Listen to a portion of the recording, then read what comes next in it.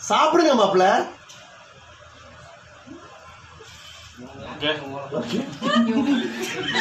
ஒருத்தர் ஒரு பொண்ணா இருக்கு வாழக்கூடாது சாப்பிட்ருங்க பசியில் இருப்பார் பாவம்.